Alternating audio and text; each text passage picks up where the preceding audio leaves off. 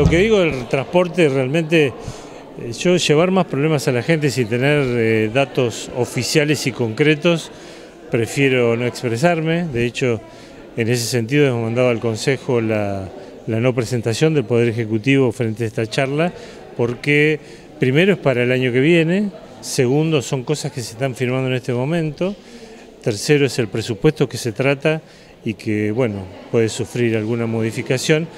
Entonces yo, de mi parte, lo que hice es pedir precisiones al Ministerio de Transporte, pedir precisiones al Secretario de Relaciones con los municipios y las provincias, hablé con los dos diputados nacionales que nos representan en la provincia de Cambiemos para tener eh, de, viva voz este tipo de proceso.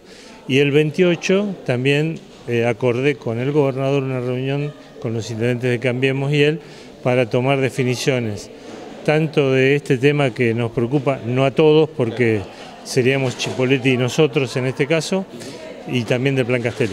Eh, ¿Está hablando de alguna cifra particular, algún primer número que le han dado? No, no es que sea un primer número, porque los, los componentes de los subsidios están en los montos directos que se reciben, están los montos que se reciben a través del gasoil, del precio del gasoil, y lógicamente uno de los más importantes son las tarifas sociales con la SUBE.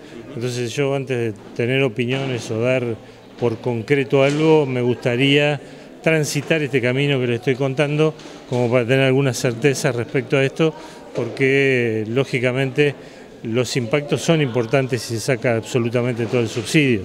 Entonces, bueno, frente a eso, prefería ser cauto, tranquilo, observar, falta tiempo y creo que faltan algunas charlas o definiciones que bueno, resultarán de estas negociaciones que se producen. ¿Amerita como... una charla con el empresario local también?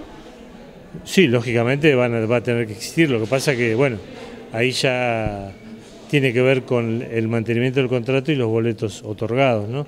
Pero bueno, como nos pasó con las asignaciones familiares, que a partir de alguna presión y alguna revisión de lo actuado, hoy salió el decreto de de directamente dejar dar de baja esa posibilidad.